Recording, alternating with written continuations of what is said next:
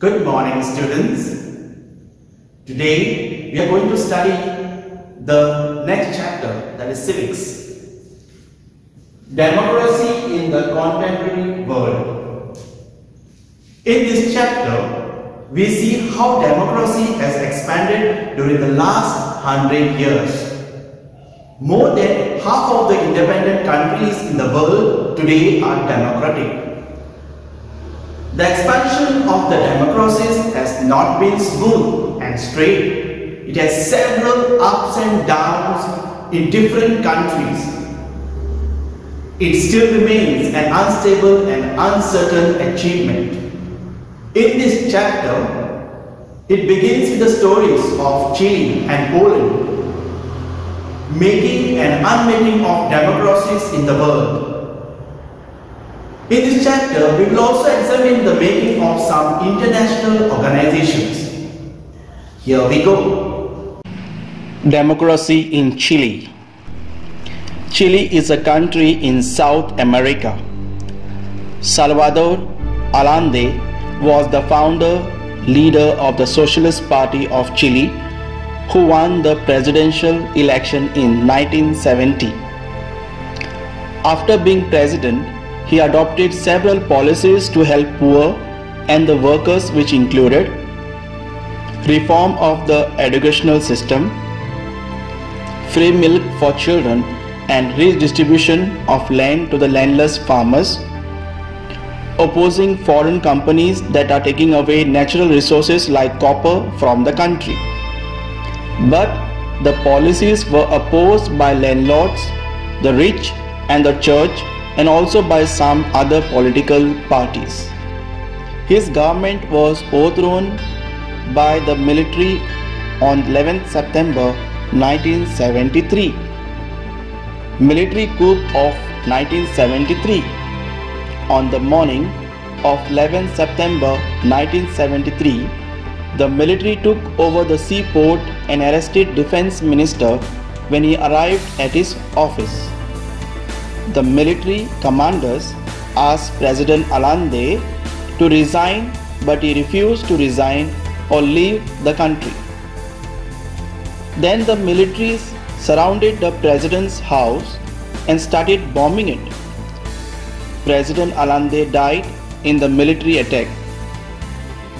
The military coup was led by General Augusto Pinochet, an army general. The government of the United States of America was unhappy with Allende's rule and is known to have supported and funded activities that led to the coup. Pinochet became the president of the country and ruled it for the next 17 years. From a democratic government, a military dictatorship was established in Chile.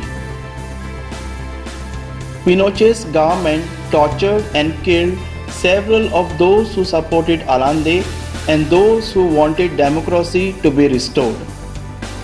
Restoration of democracy. Pinochet held a referendum in 1988 as he felt confident that in this referendum the people would say yes to his continuing in power. But the people of Chile said no to Pinochet and his military dictatorship ended.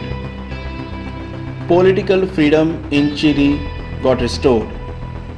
Slowly, the army's role in the country's government has been eliminated. The elected government that came to power ordered inquiries that showed that his government was not only very brutal but also very corrupt. In January 2006, Michelle Bachelet, daughter of General Alberto, was elected President of Chile. In the presidential election, she defeated one of the Chile's richest men. What is the difference in the rules of Allende and Pinochet?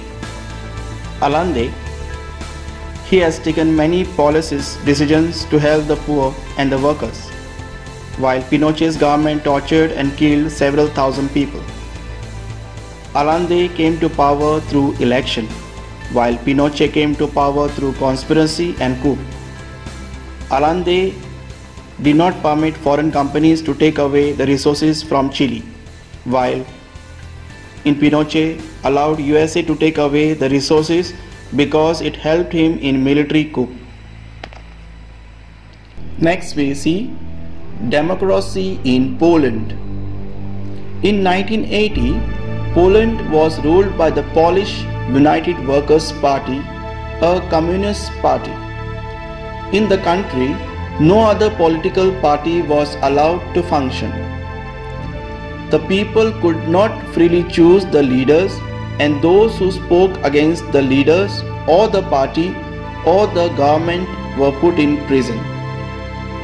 The government in Poland was supported and controlled by the government of the Soviet Union, USSR, a vast and powerful communist state. Strike of Lenin shipyard workers.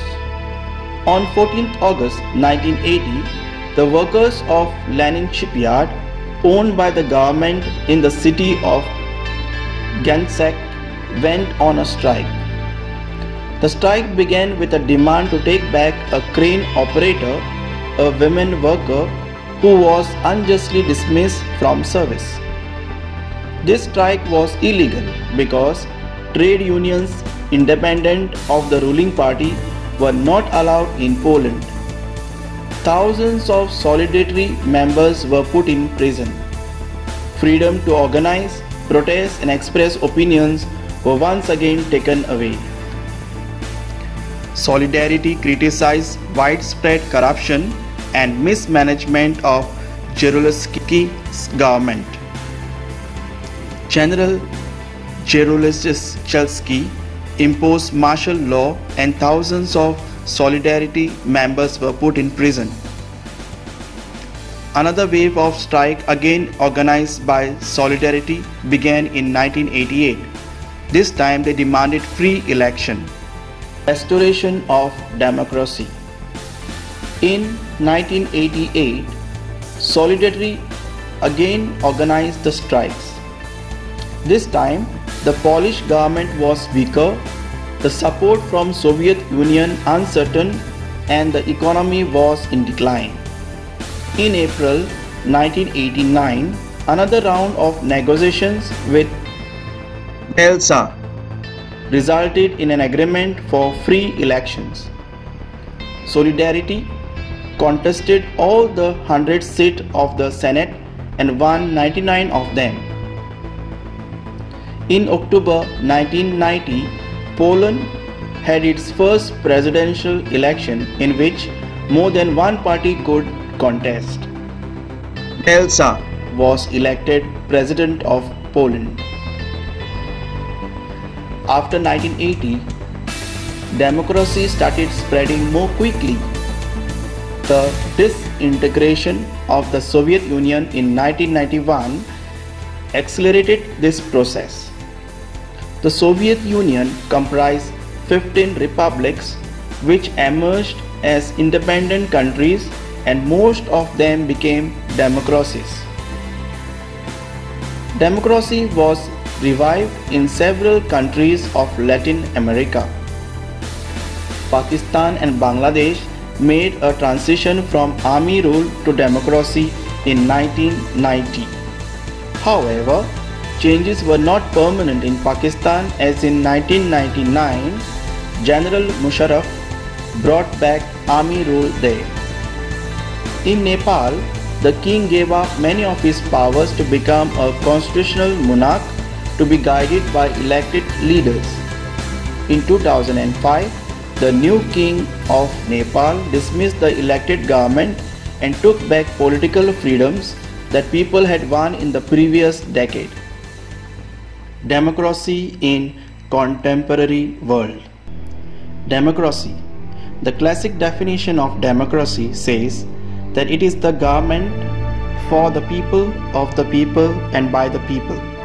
In other words, democracy is a form of government in which people are allowed to choose their rulers. Following are the two important features of democracy. Only elected leaders by people rule the country. People have freedom to express views, freedom to organize, and freedom to protest. The changing map of democracy. The world map given here shows democratic governments from 1900 to 1950. The countries which are shaded in red had already become democracies before 1900. The countries shaded in yellow became democracies between 1900 to 1970. This world map shows democratic countries in 1975. Compared to the earlier map, the number of democratic countries has increased in this map. This was mainly because of the freedom of many countries from countries from colonialism. The end of colonialism resulted in the birth of many new nations during this period, and many of them preferred for democratic rule. This world map shows democratic countries in 2000.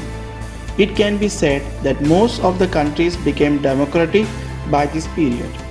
Collapse of the Soviet Union in the 1990s and the subsequent collapse of communist regimes in Eastern Europe and many other parts of the world led to rise of democracies around the world. This map also shows that a major portion of Africa is yet to embrace democracy. Additionally, China and some Central Asian countries are the regions where democracy has not taken roots. Phases in the expansion of democracies. The process of democratization began with the French Revolution in 1989. It took about 100 years of struggle for France and many other European countries to develop into proper democracies. The process of democratization of Britain began much earlier than in France.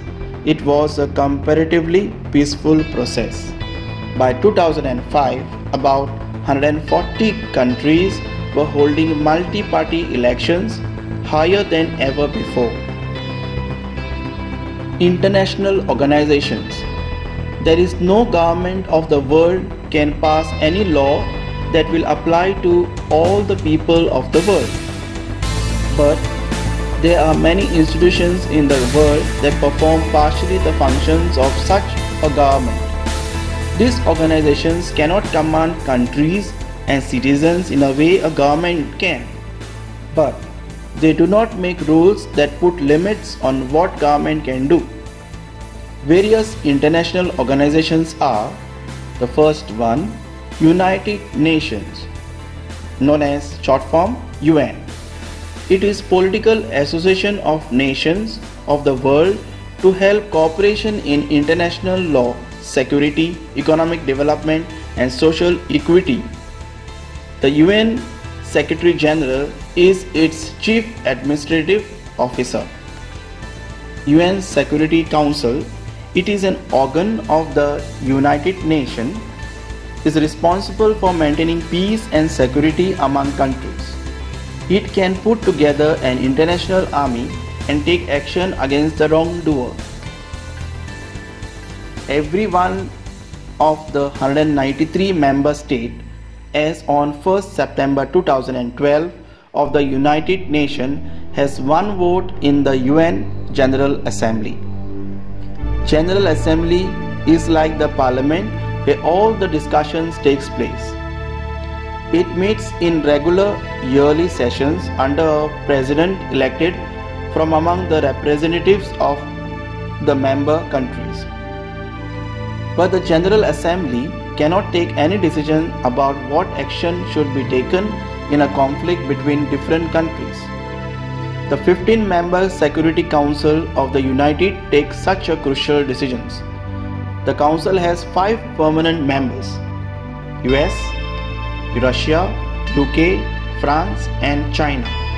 And 10 other members are elected by the General Assembly for 2-year terms. The real power is with the 5 permanent members. Each permanent member has veto power. It means that the council cannot take a decision if any permanent member says no to that decision. This system has led more and more people and countries to protest and demand that the UN becomes more democratic. The permanent members, especially the US, contribute most of the money needed for the maintenance of the UN. International Monetary Fund is one of the biggest money lenders for any country in the world. Its 188 member states as on 1st September 2012 do not have equal voting rights. The vote of each country is weighed by how much money it has contributed to the IMF. More than 52% of the voting power in the IMF is in the hands of only 10 countries US, Japan, Germany, France, UK, China, Italy, Saudi Arabia, Canada, and Russia. The remaining 178 countries have very little say in how this international organization take decisions. World Bank also has similar system of voting. The president of the World Bank has always been a citizen of the US, conventionally nominated by the Treasurer Secretary, Finance Minister of the US government. Democracy Promotion Iraq is a country in Western Asia which became independent from British rule in 1932. Three decades later, there were a series of coups by military officers. Since 1968, it was ruled by Arab Socialist Ba'ath Party, whose leader Saddam Hussein uh, played a key role in the 1968 coup that brought the party to power. This government abolished traditional Islamic law and gave women the right to vote and several freedoms not granted in the other West Asian countries. After becoming the president of Iraq in 1979, Saddam ran a dictatorial government and suppressed any dissent or opposition to his rule. The US and its allies like Britain alleged that Iraq possessed secret nuclear weapons and other weapons of mass destruction which pose a big threat to the world. But when a UN team went to Iraq to search for such weapon, it did not find any. Still the US and its allies invaded Iraq, occupied it and removed Saddam Hussein from power in 2003. The US installed an interim government of its preference. It is argued that it was important to end the dictatorial rule and set up a democratic government.